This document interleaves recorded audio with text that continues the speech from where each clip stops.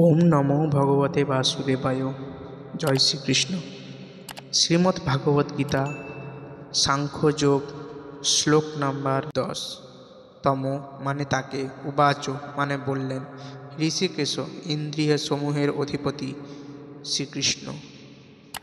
প্রেহসন মানে হেসে, ইব মানে ভগবানে। এভাবে।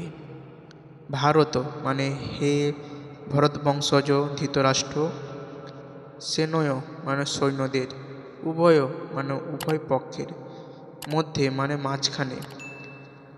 বিষিদন্তম মানে বিষাদগ্রস্ত, ইদম মানে এই বচ মানে বাক্য, অনুবাদ।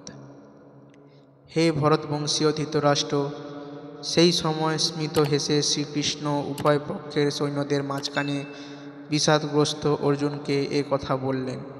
তাৎপর্য। দুই অন্তরঙ্গ বন্ধু ঋষিকেশ ও গুড়াকেশের মধ্যে কথোপকথন হচ্ছিল। বন্ধু হিসাবে তারা দুজনের ছিলেন সমপর্যায়ভুক্ত, কিন্তু তাদের মধ্যে একজন স্বেচ্ছাকৃতভাবে অপরের শিষ্যত্ব বরণ করে এলেন। শ্রীকৃষ্ণ সেই সময়ে হাসছিলেন, কারণ তার বন্ধু তার শিষ্য হতে মনস্থ করেছিলেন। তিনি পরমেশ্বর, তাই প্রভু রূপে তিনি সকলেরই নিয়ন্তা। কিন্তু তা সত্ত্বেও তিনি তার ভক্তের বাসনা অনুযায়ী তাদের বন্ধু, পুত্র ও প্রেমের হতে স্মত হন।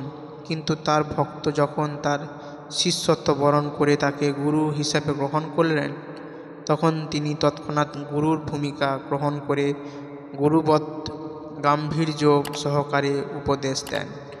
এখানে আমরা দেখতে পাই গুরু ও শিষ্যের মধ্যে কথোপকথন হয়েছিল। প্রকাশ্যভাবে যুদ্ধক্ষেত্রে দুই সেনানীর মাঝখানে, যার ফলে সেই কথা শ্রবণ করে সকলেই লাভবান হতে পেরেছিল। এর দ্বারা প্রমাণিত হয় ভগবদ্গীতার বাণী কোনো বিশেষ ব্যক্তি, সমাজ অথবা সম্প্রদায়ের জন্য নয়। এই বাণী সকলের জন্য এবং শত্রু মিত্র নির্বিশেষ সকলেই এর যথার্থ মর্ম হৃদয়ঙ্গম করে ভগবানের চরণে শরণাগতি লাভ করতে পারেন। ওম তৎসৎ। রাধে রাধে, জয় শ্রীকৃষ্ণ।